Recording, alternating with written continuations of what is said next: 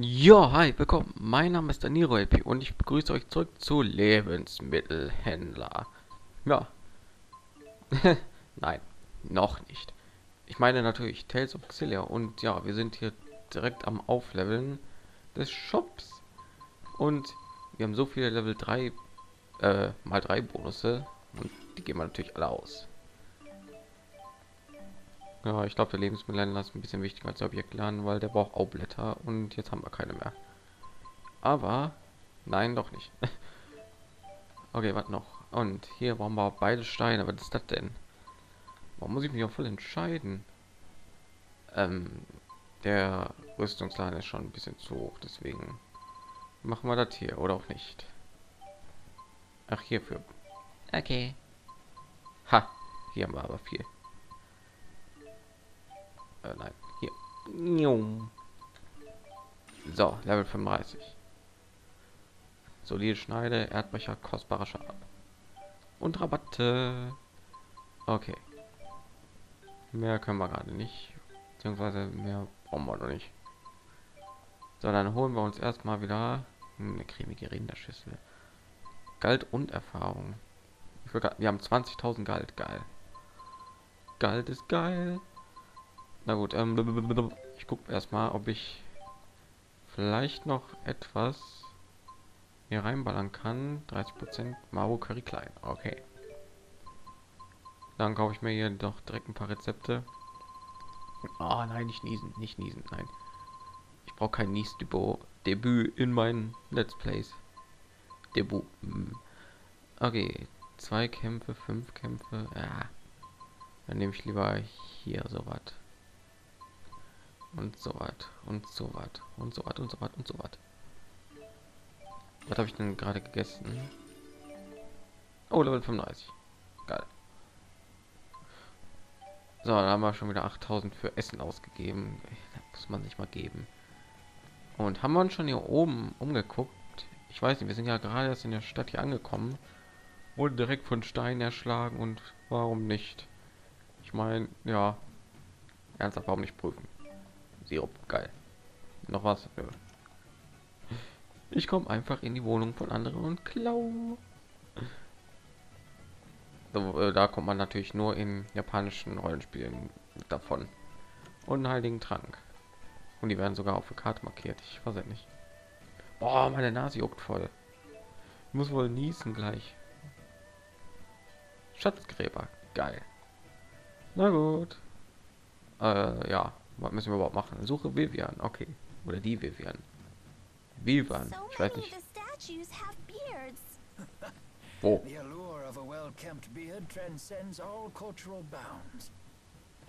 Bärte. Der hat keinen Kopf. Oh, was dann für eine Musik?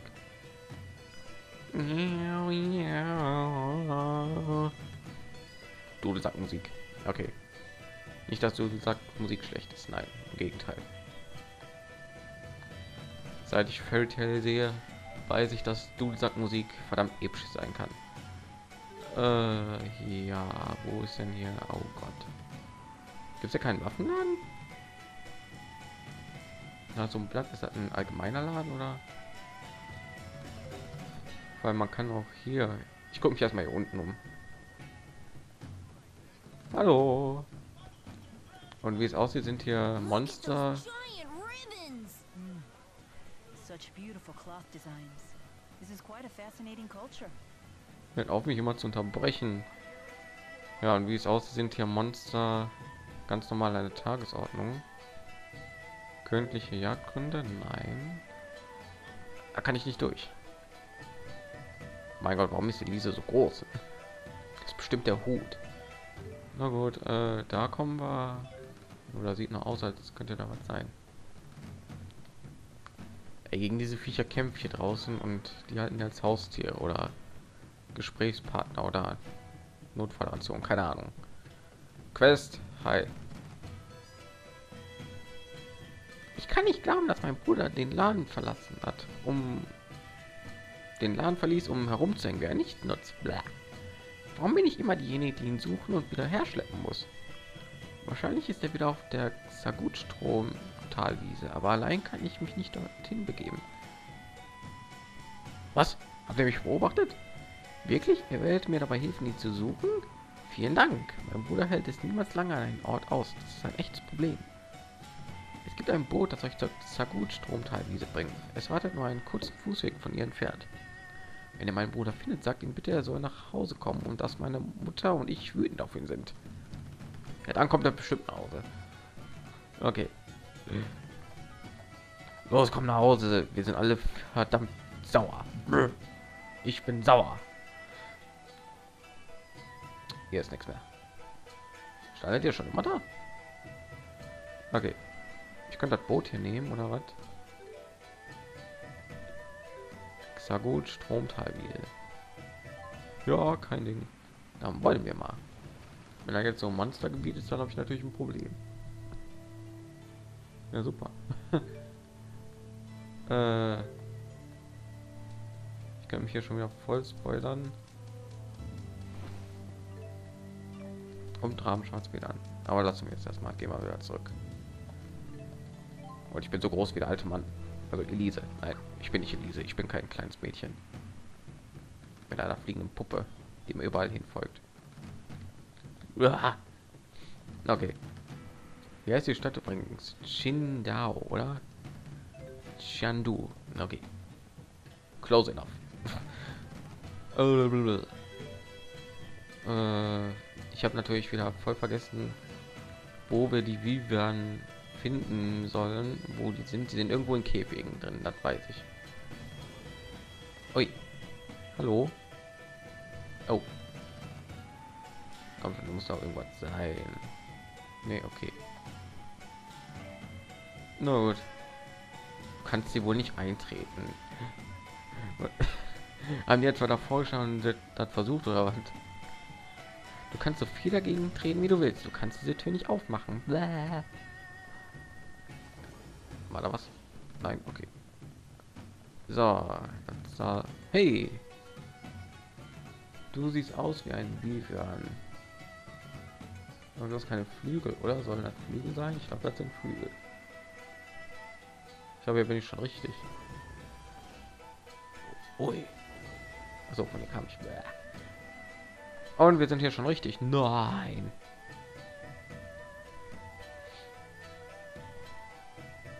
Und wo ist Alvin?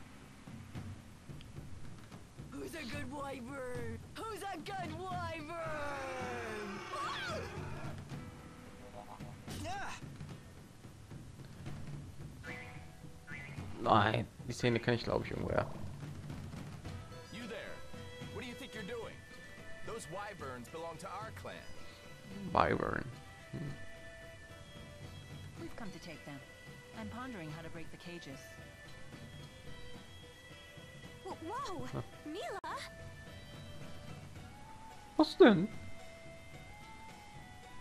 Uh, may we please borrow your wyverns?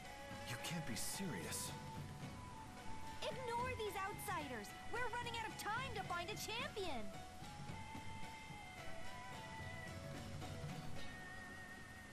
Lass mich ran. Unsere Tradition, unsere Legenden erlauben es nicht, euch einen Vivian zu leiden.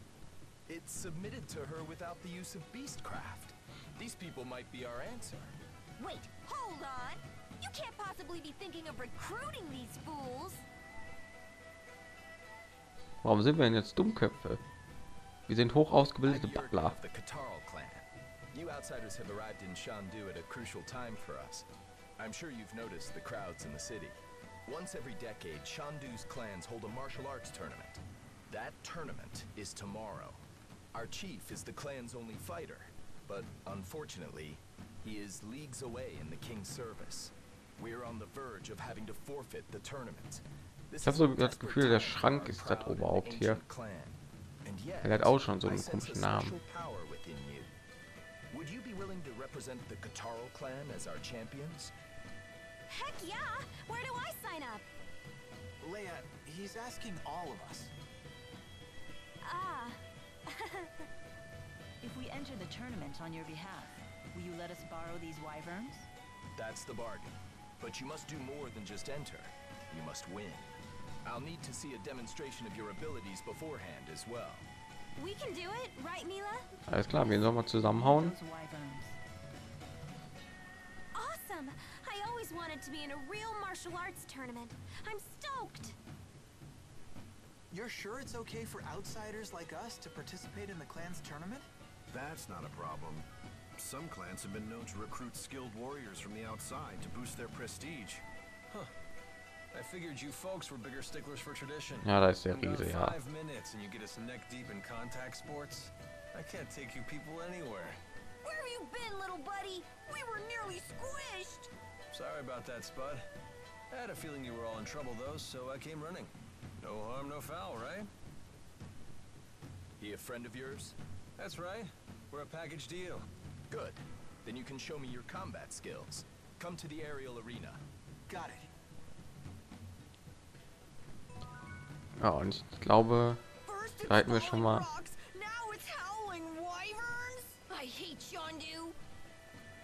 da hätten wir, glaube ich, unser Kolosseum für diesen, für dieses Tales Aufspiel. Lieblingstiere.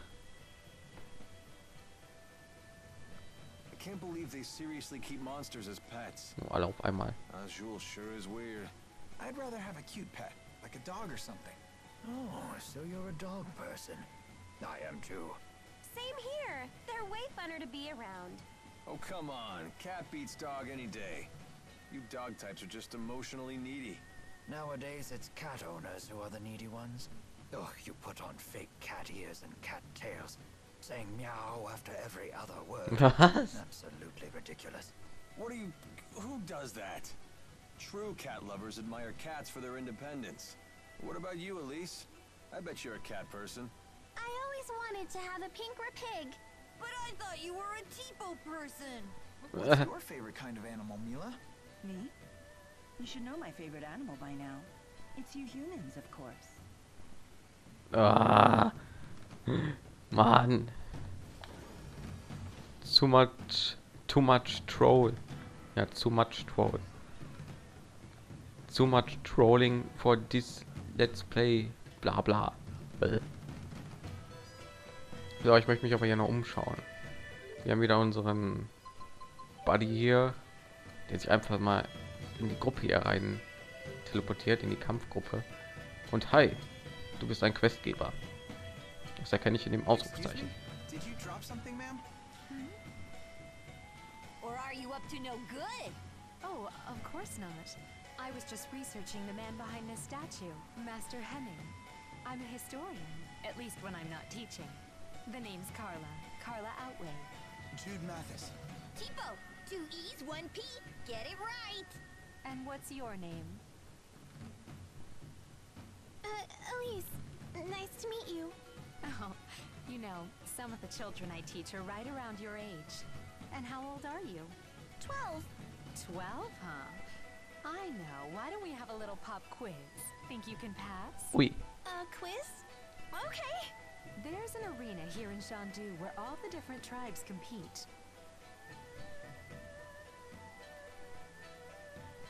Do you know who holds the record as the youngest champion ever? The youngest champion ever? Uh, Who gives a quiz before teaching a lesson? She can't answer if she doesn't.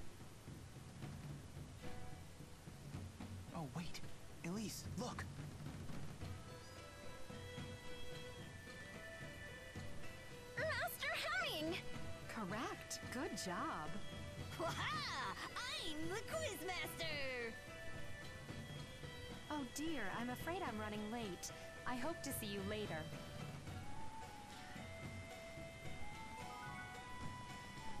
okay. Mir ist in dem Gespräch erst aufgefallen, dass mich dieses Katze-Hunden-Gespräch irgendwie an Tales of Grace SF erinnert. Da gab es auch irgendwie sowas. Boah, bin ich ein Blitzmerker. das mir halt jetzt jetzt auffällt. So, was haben wir hier? Fünf Galt. Yes. So, ich dachte, da war am glänzen. So, dann erkunden wir, würde ich mal sagen, den Rest der Stadt im nächsten Part. Wo kommen wir hier hin? Ah, okay. Ja, dann bedanke ich mich fürs Zuschauen und wir sehen uns im nächsten Part. Tschüss!